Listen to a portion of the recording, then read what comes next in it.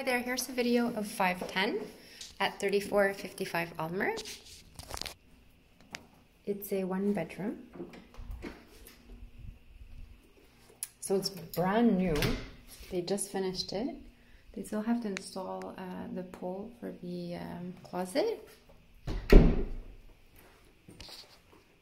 And over here we have, I think they haven't installed them, but the washer dryer are included. This is the bathroom.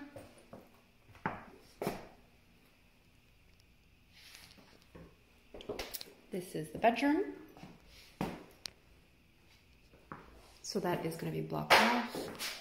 There's a big closet here. There's a balcony.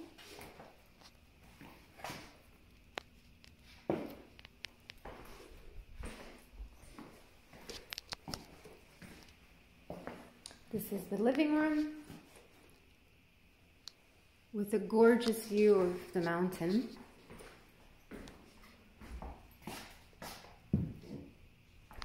And then over here we have the kitchen.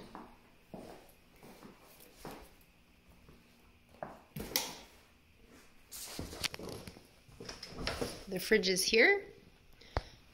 The freezer is down there. Oven, no, that's the microwave.